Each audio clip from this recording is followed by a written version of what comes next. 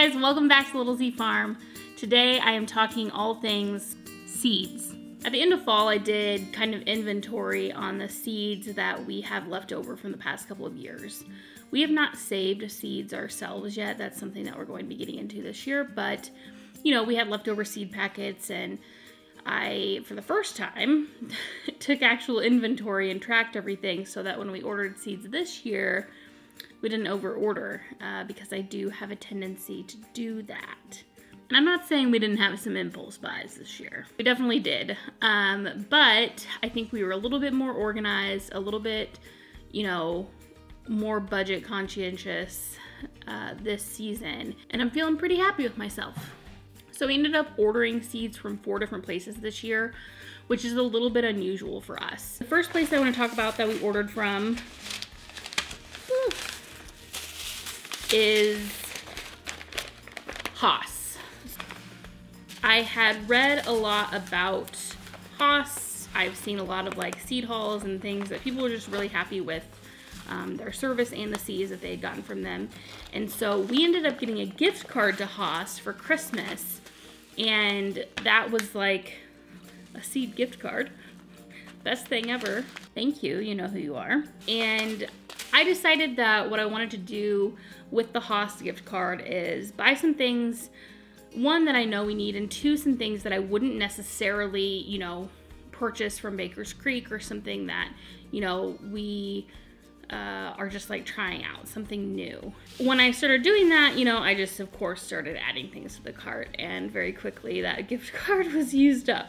I think something that I'm particularly excited about this year is trying to actually grow flowers. Um, so cut flowers have never been a thing for us. I've always been like flowers are too hard to grow and I can barely keep my vegetables alive. Is what I've like thought historically. But now that I feel like I'm a little bit deeper into this, um, I have had some success in the garden and a bunch of continued failure.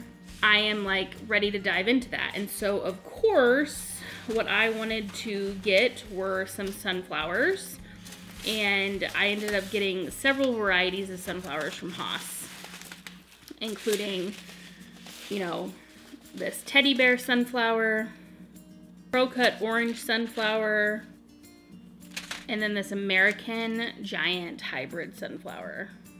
Now, of course, you know, to me, there's something about a sunflower like I got the giant kind not because I even know where I'm going to plant that, but because it is amazing. and I think, you know, growing something like that would be a true like encouragement to me. I would just be in awe. And it would be one of those things that I could grow and I would feel like, wow, you know, I planted that and it grew and it would really encourage me to try new things. But I got some zinnias, celosia, Guys, I know nothing about flowers and, you know, I'm like going through these and I'm like, oh, pretty, pretty, putting these in here. And I'm like, celosia, what's that? No one probably knows about celosia.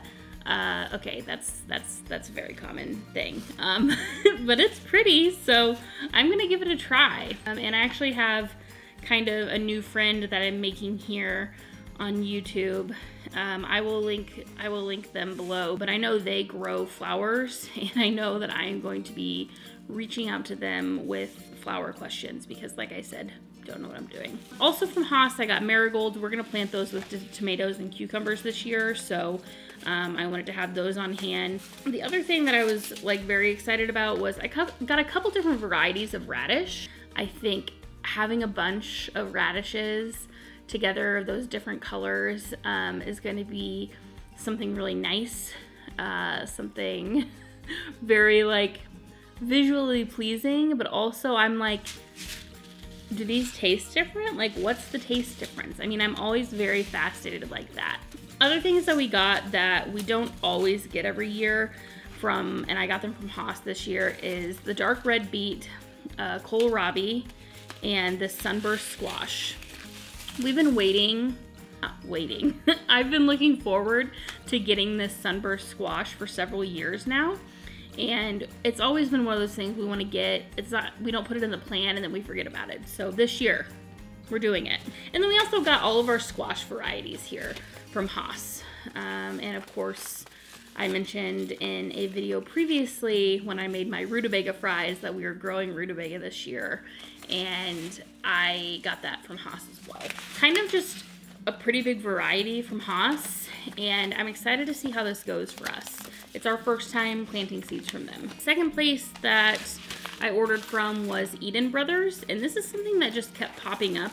Um, I think on my Facebook, like you know, order things from here. And something that I couldn't get from Baker Creek or Hoss when I tried to, um, because I guess we were late. I feel like I was pretty early, but I guess I was late, um, is the different types of basil. Cinnamon basil and the lemon basil uh, from Eden Brothers. And Eden Brothers The Eden Brothers, their like saying is the seediest place on earth. And I really, really appreciated that. Honestly, that's probably why they got my order over somewhere else. Because I could have went and purchased these basil seeds somewhere locally probably. Um, but I got borage seeds. And then the other thing that Eden Brothers had that I could not find at kind of like the mainstay place, at the main places that we usually buy from. Um, and that is honey nut squash. And I read a lot about that and I want to grow it. And I was like, okay, this is worth it to try a nude seed company. A nude? Now that's seedy. A new seed company. Um, give them a whirl. I'm to try these seeds from them. And then I also got uh, radish sprouting seeds because we are going to attempt microgreens this year. That honey nut squash is supposed to be like sweeter than butternut squash and delicious. So I'm like, am I gonna get a honey nut squash soup out of that? I hope so. The third place we ordered from was True Leaf Market. If you're not familiar with True Leaf Market, they, I mean, I know they sell a lot of seeds, but I have always seen them kind of in reference to the microgreens. And since that is something that we are starting this year, I am going to be diving into that. I happened to get from them, unrelated, these tea filters. Because we grow a lot of mint and things like that, and I dry it, and I want to have like an easy way to just kind of have these like tea bags on hand. These microgreen seeds. And we did not order a lot because we've never done microgreens before, so we got, you know, a pack of peas here. This is a one pound bag, and can we just admire, I just really love their packaging. True Leaf, the peas, um, and then we got this these broccoli microgreen seeds, and then this like basic salad mix, which has kohlrabi, kale, cabbage, arugula, and broccoli. And so I, these are kind. I, I mean, I think these are like common microgreens to grow. Um, they're definitely, you know, the ones I've heard of. And we want to try them personally. And maybe it's something that we will share at market, um, depending on the things that we create with them and if we feel confident in them. But I'm really hopeful about it. And this is something that we're actually going to be starting soon, our first like batch of to try because I'm kind of itching to grow something right now. and this is something that we can grow under the lights and um, you know hopefully have hopefully have some success. And the other thing that i impulse bought when i was ordering on true leaf market was stevia or stevia. I think it's pronounced both ways. That is like a sugar replacement. Apparently it's like very hard to grow. And this had it has seven seeds. Seven. Uh, I don't like my chances, um, but I didn't feel like it was, you know, a big enough investment to like worry about it. So if anyone has advice or has successfully grown it, I mean, um, I'm guessing I'm gonna have to grow it inside. I don't know. I I honestly didn't read uh, much about it, but I have, you know, we're in Zone 5B and uh, I really need to read up on this to like find out more. But I want to try it. So the last seeds that I have here that we ordered is our Baker Creek seeds. And honestly, a lot of the stuff we got from Baker's Creek this year are like tried and true things that we already know that we love. Every year we get new things from them to try, and you know, that's very exciting. But now we also kind of have our favorites. Um, so a lot of our peppers, just your standard peppers, Anaheim, poblanos, uh, jalapenos, but I got these Sugar Rush peach peppers something that wasn't like super spicy. I think they had another like peach pepper that was like very spicy and we almost ordered that on accident. And I was like picturing these like going out and just like eating one. And so I'm glad that we looked twice because I would have done that and I think I probably would have regretted it. Something we ordered that is new to us. We have these, you know, uh, little strawberries like the Alpine strawberries, wonderberries, and blackberries. My husband really wants to have kind of this like section kind of close to our house that is set up and fenced off for berries and um, almost like a separate garden essentially. And so we had a couple strawberry plants and blueberry plants planted. Our chickens free range, they ate them all every year. Um, they didn't grow back last year. So we're gonna actually like fence off an area and do these varieties and try them. And I'm excited about the alpine strawberries, obviously, because I want to be able to plant it and like harvest a strawberry in the same year because I'm impatient and I need to get over that, but I can't. A bunch of tomatoes. And I'm gonna just talk about a couple of them because honestly, we get so many tomatoes from them. I I don't I, I don't even know where to start, but I'm gonna pull a couple that we have loved. Um, and one of those, actually I'll talk about two real quick. Lucky Tiger and this Brad's Atomic Grape. And the Lucky Tiger tomato, the first time I tasted that, I made kind of a bruschetta and I mixed it in with some other tomatoes. It's by far my favorite tomato. If you've watched any of my other videos, you know that I'm not like inherently a tomato fan. I don't eat tomatoes like right off the plant, generally speaking, but those I could. It's just, it tastes very different to me. Um, and I don't know if anyone else feels that way, uh, but you know, I don't know. it just does. Brad's Atomic Grape I just think is really pretty. The Lucky Tigers are pretty too, but we always we always get those. Black cherries are very popular at market for us. I don't love them. I don't love the texture, but a lot of people do. We got a couple different types of Roma tomatoes. Another one of my favorite tomatoes to grow are the Hungarian hearts. Um, they're like these very meaty, uh, they're bigger than Romas, but I find them to be like flavor bold, uh, like bold in their flavor. Um, I really like to use them in a sauce. I've used them in sauces, generally speaking, but you can kind of see the internal making of them there. And they're just like a richer color and a richer flavor than like a Roma tomato. These are new to us this year. These bumblebee tomatoes, um, always Bonnie's best, and um, some other new, couple other new tomatoes. But this one, which I'm sure other people impulse bought, spoon tomato. Weird fact about me, I love miniature things. Um, and just even looking at this picture, it excites me. I want these little mini tomatoes and we're gonna grow them in the garden, but we're also going to grow them in um, this Dollar Tree planter, like vertical planter that we're making. We got a couple watermelons, the little finger, little finger eggplants. It's pretty much the only eggplant we're successfully able to grow. Uh, black turtle beans. We grew those successfully one year and the chickens ate them.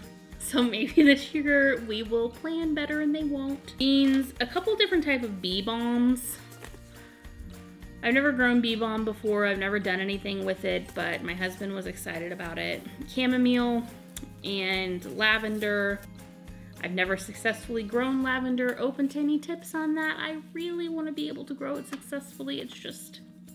Um, our free seed was this uh, Parris Island cause lettuce. Gosh, guys, I mean, just don't listen to me pronounce things. Um, it's lettuce, and um, it says it has tender and crisp leaves with delicate white hearts. It's disease tolerant. I need that. This was something a little bit unique.